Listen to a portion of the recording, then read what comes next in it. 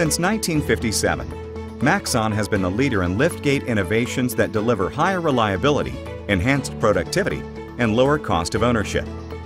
From the invention of the first tuckaway gate in 1957 to industry-leading achievements like the BMR-A column lift, GPT Premium Tuckaway, GPTLR Level Ride Tuckaway, and DMD, the first direct medium-duty rail lift, to the latest advancements that make liftgates smarter, safer, and more reliable.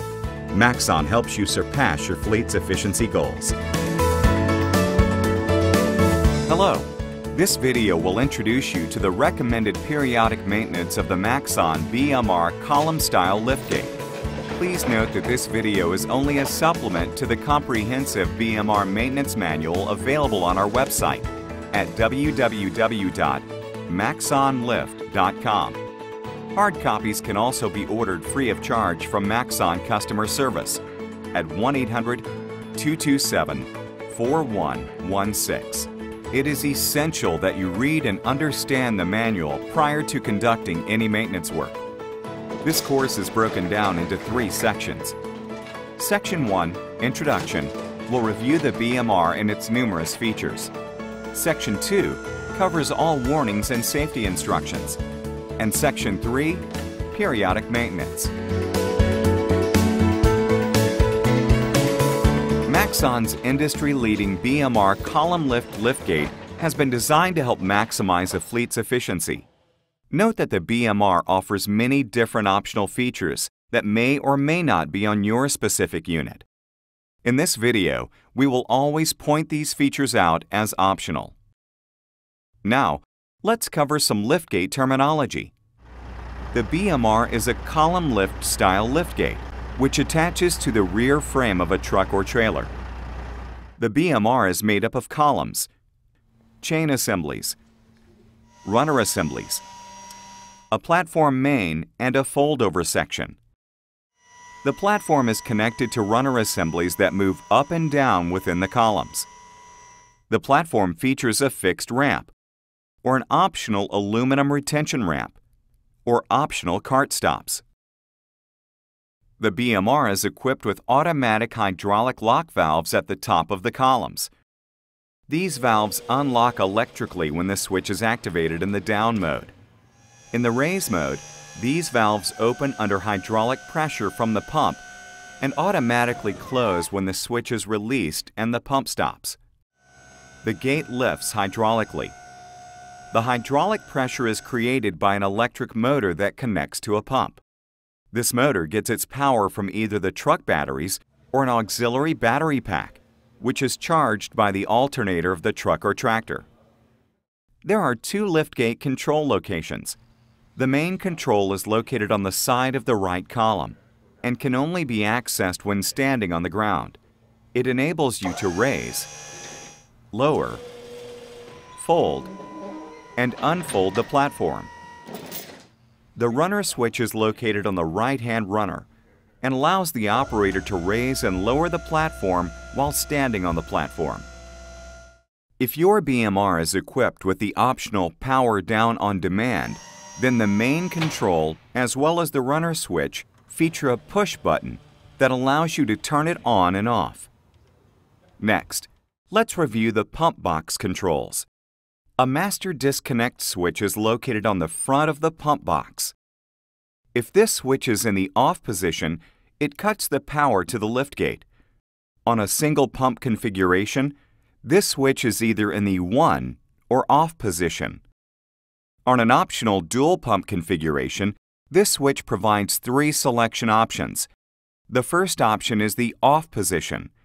This selection cuts power to both pumps and the second and third selection options, 1 or 2, powers either pump 1 or pump 2 accordingly. The pump box and battery box feature a series of circuit breakers to protect the different electrical circuits.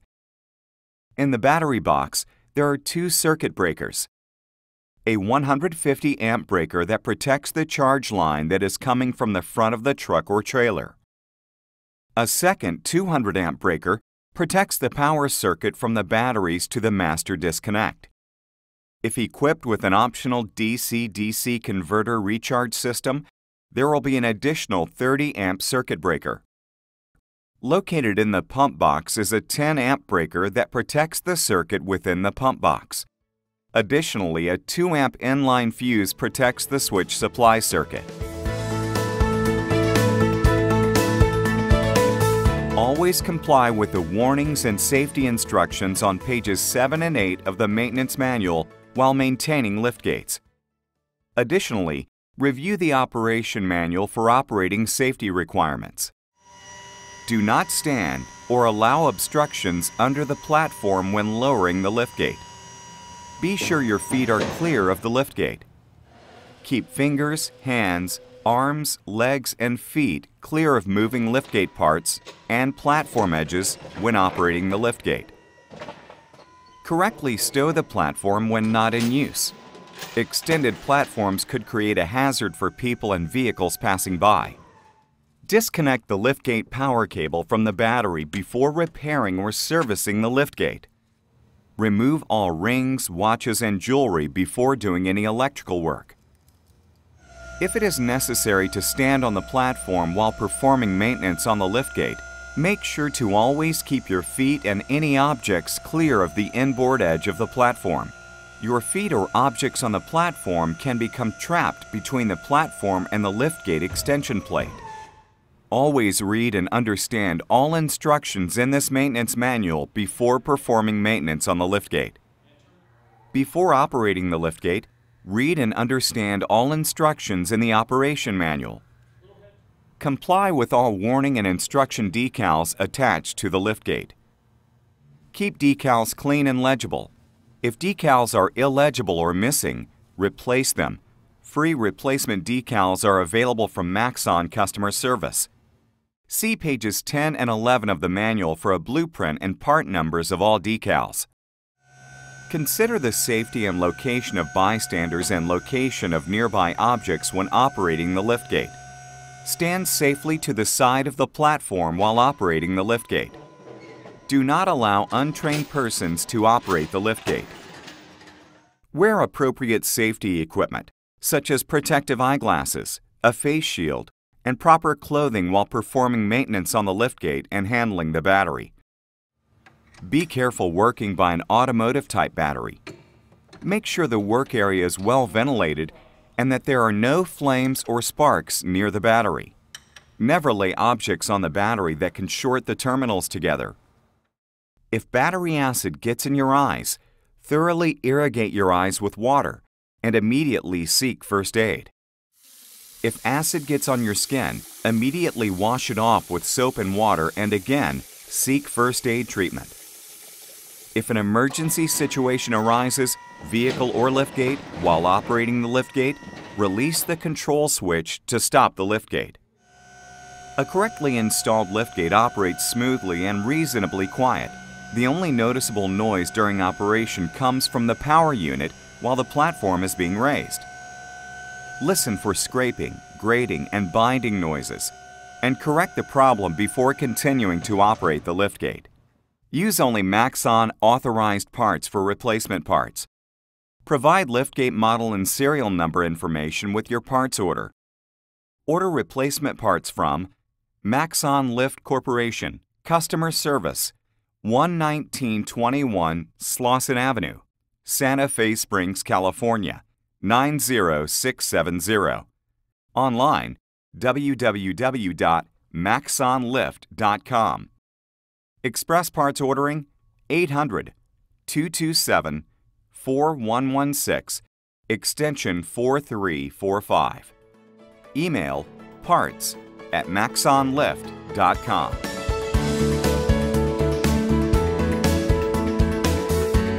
Periodic maintenance must be performed quarterly or at 1250 cycles.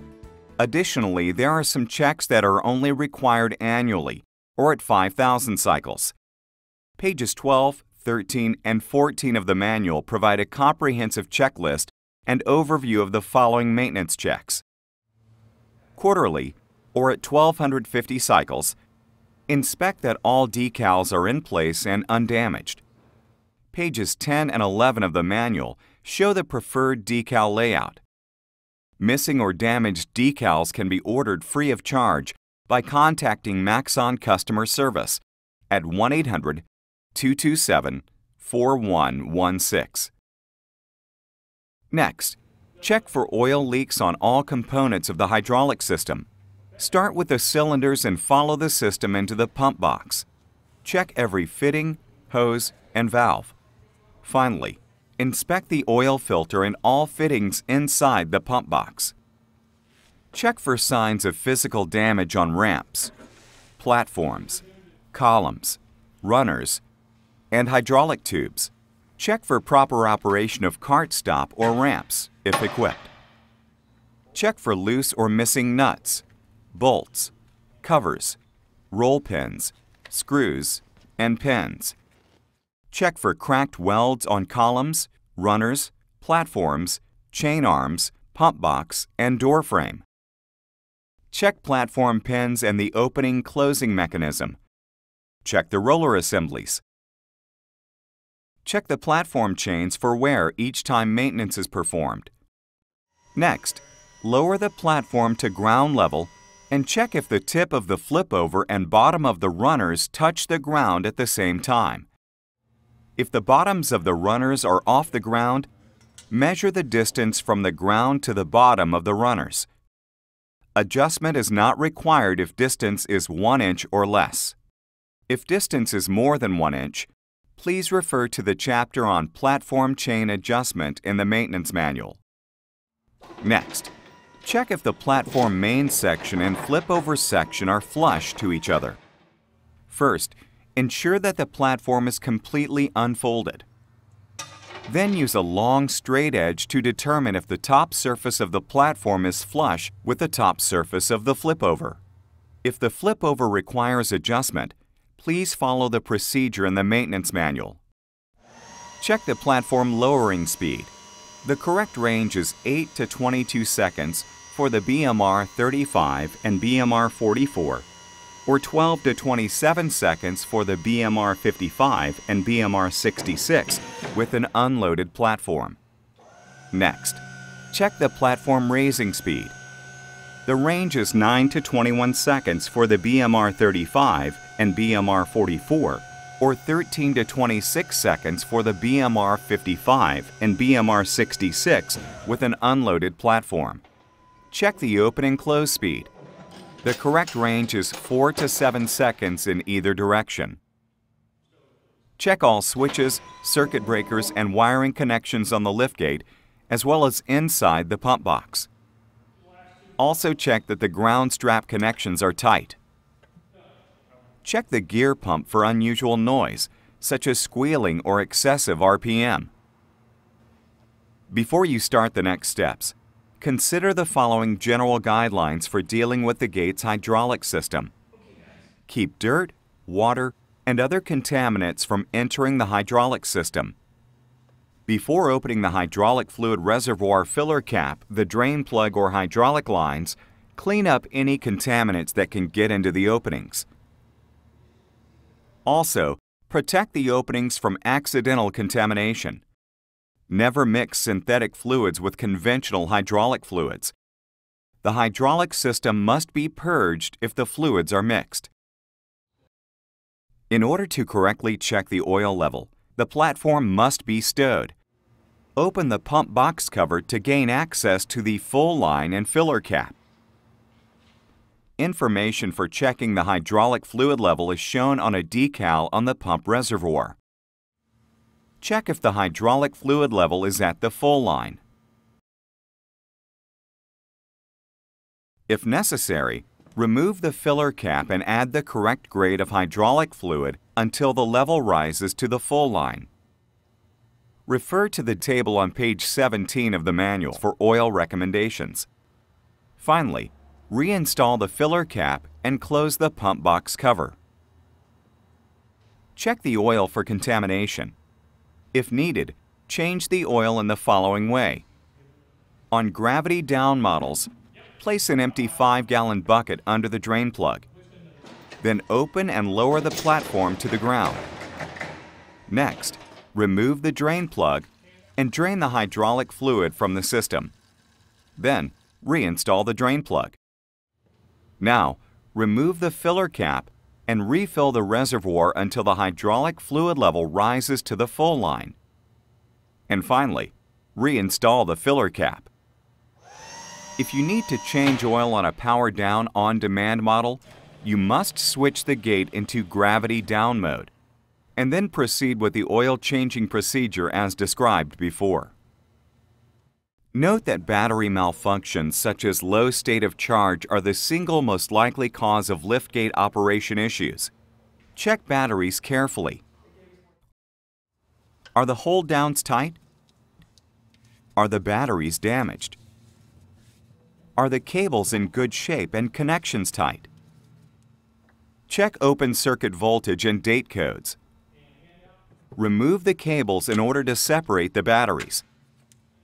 Let the batteries sit for a couple of minutes and clean the terminals.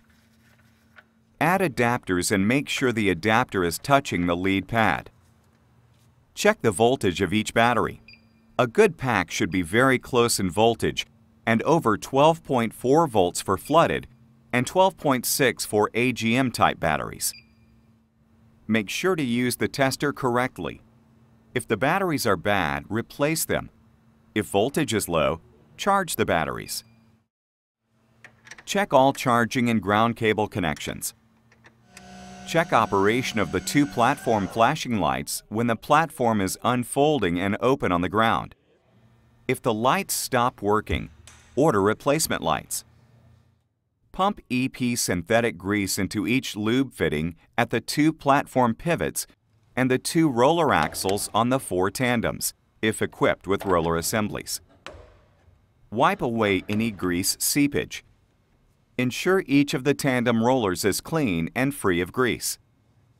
And finally, follow your company's guidelines for completing PM stickers and maintenance records for the liftgate. There are also a few maintenance tasks to be performed annually, or at 5,000 cycles. Replace the spin-on filter in the pump box and change the hydraulic fluid if contaminated please refer to the earlier section about how to replace the hydraulic fluid. Inspect wear on slide pads on the right and left runners. The Maxon BMR column lift is designed to perform for many years. Periodic maintenance is key in getting the best performance out of this exceptional and reliable liftgate. Please make sure to carefully study the maintenance manual and contact Maxon with any additional questions you might have.